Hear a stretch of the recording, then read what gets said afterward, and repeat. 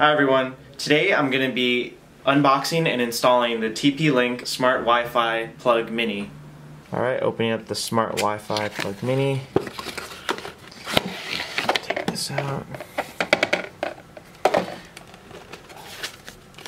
Manuals. Here's the plug. Pretty straightforward. Button on the side. Yeah, I don't think there's anything else. Okay, so first you got to download the Kasa app from the App Store. I've already done that. Um, so go ahead and do that. Um, it's also going to ask you to create an uh, account, and you want to create an account, or else you can only use the basic functionalities. Um, you won't be able to con control it from your various smart home devices and all that. So, long story short, create an account. After you create an account, you're going to be met with this screen. Um, so no devices yet. Let's go ahead and add our device. Let's look for the Smart Plug Mini. Here it is. Okay, press next. Alright, let's go ahead and plug it in. Alright, wait about 10 seconds or until the status light is slowly blinking amber and blue. Alright, press next.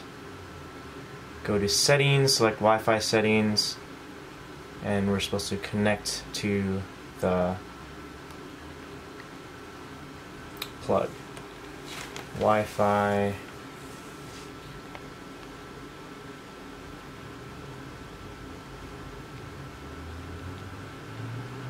There you go.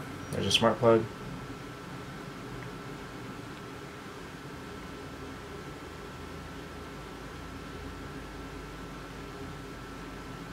Alright, and let's go back to the app.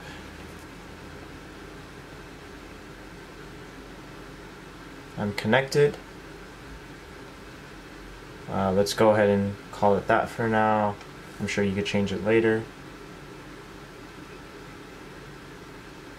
Um, yeah, you probably could allow for location so then it knows when where you are and you could se select more smart uh, application uh, abilities, but for now I'm just going to press don't allow. It's not that important for this moment. Um, choose an icon. That's fine. And then let me type in my password.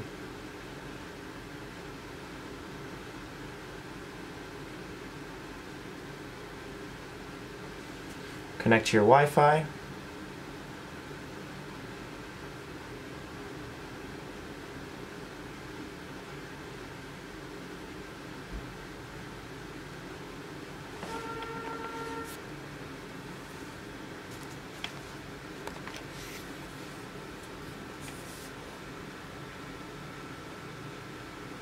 Okay, and sometimes I guess it's going to ask you to install an update. You definitely want to do that. Okay, so um, yeah, now I'm going to show how to connect it uh, to use the uh, smart home uh, Amazon Echo functionality. Um, so for that, you will need to open the Alexa app so I'm going to pull out my phone right now and open that up.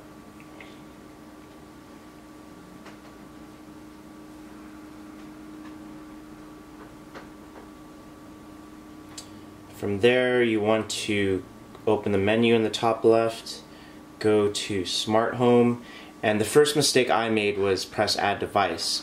Um, but it can't find the device until you find the Kasa smart home skills. So what you need to press is your smart home skills at the bottom.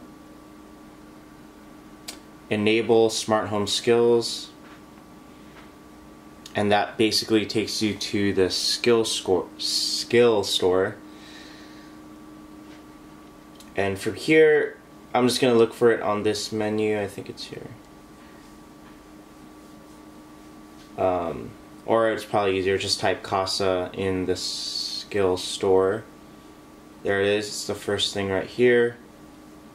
Let's go ahead and enable this skill.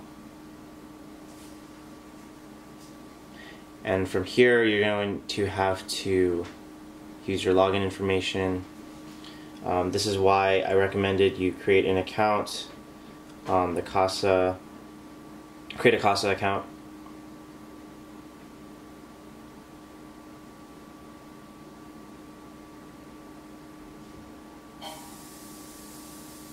Okay, after you logged in on the Kasa account, press done.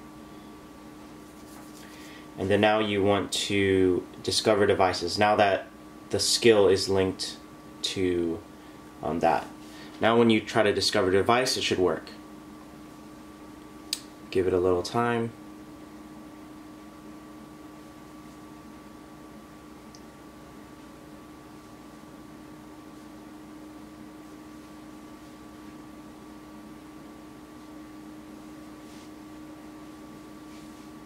Great.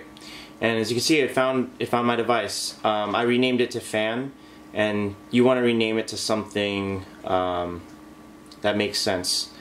So yeah, let's try it out. Now that it's connected, um, you can turn it on from here, but we're going to use the smart home skills, so let's try that out. Alexa, turn on fan. Okay. And just like that, it works automatically. Alexa, turn off fan.